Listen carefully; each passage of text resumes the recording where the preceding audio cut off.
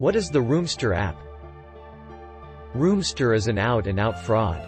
Opportunists post fake listing for rooms or apartments on Craigslist, another fraud-riddled site that cause you to click on a link to Roomster or to both Roomster and Craigslist.